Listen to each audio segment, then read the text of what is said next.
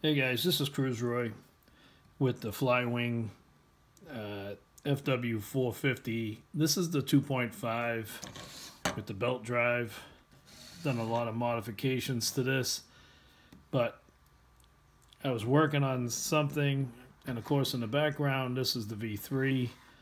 What I wanted to say was I wanted to kind of clean up the wires, and I was playing around, and I did have a spare there is something different about this one and that one. Of course, it's your side frames are totally different. But I had a spare FL448. This is the uh, ESC plate for the V3. It kind of looks like this. And what's the difference, you say? Well, with this, you can also have this. This is one of my battery clips so I'm thinking to myself, why not? So this has a, a couple of metal bars going across and it holds a piece of carbon fiber. I loosened that up. I'm taking it apart because I want to straighten out some wires. I pulled the ESC out of the way, of course. And I'm thinking to myself, the way the battery goes into this one, you can see there's a Velcro pad here. If you take this Velcro pad out, I don't know if it comes stock. I forgot it's been so long take this out of the way. That gives you a little bit more area. There is a little bit more clearance in the V3. But I just want to show you. Here's the part. The only mod you'd have to do, it actually, the ESC wires slide, I mean the motor wires slide right through just like the, oh, I'm upside down, sorry. The motor wires slide right through the same way the V3 does. And let's plop it in place. The only thing difference is the way the frame is cut right here, but that's not a big deal. You'll need to drill two holes and put in four screws, and then the ESC would go right back in place, but you got to remove this plate, right? So you remove this plate. I might do a video of the whole job, but I'm just kind of found it while I was playing around, so I figured I'd let you know. So you remove this ESC plate, toss it in the trash.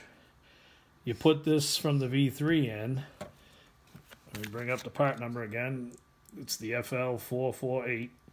And also buy yourself another, if you don't have a 3D printer, of course, these are going around the internet, buy the regular battery clip. And the only mod I had to do because the frame, the frame isn't narrower, but they run the wires right along the side of the frame. So I had to take a little bit off here. If you have the stock battery tray, it doesn't matter. It's way back here. But anyways, let me show you here. Oop, I came out of blur. But yeah, I had to shave it here just in case it got blurry there because of the wiring. The wiring runs level with this belt. But let me put this in. Click. So I mean everything will work when you put this back in. The motor will plug right back into the ESC. You got plenty of slack, right? And I'm going to grab one of the biggest batteries I have. It's only a 4500 but like I said, no Velcro or nothing. What I've been doing is electrical taping them onto the battery clips so they always stay on there. And then you don't need any Velcro, and that Velcro adds extra thickness and all of that. But let me show you.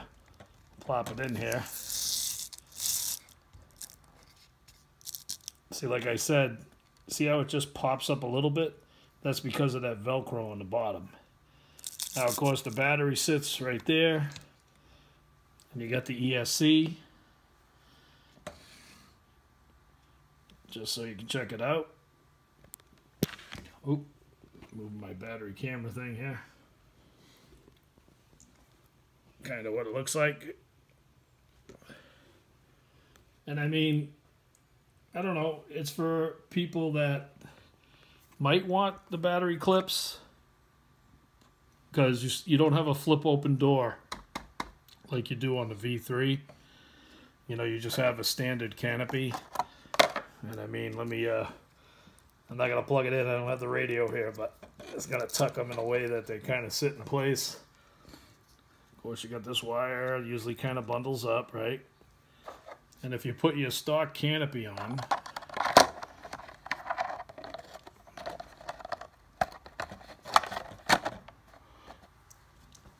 and if it's like a glove, right where it's supposed to. So it's kind of a cool idea. You just need the two parts. I think it costs you seven bucks. It's the shipping that'll kill you. I think the ESC install plate, because I had to get it for the V3 that crashed, uh, that was, um, I think, four bucks, and then the battery tray is three bucks. But it's a good modification to the V2. I don't know why this don't have 0.5, but it's the way it came from Heli Direct.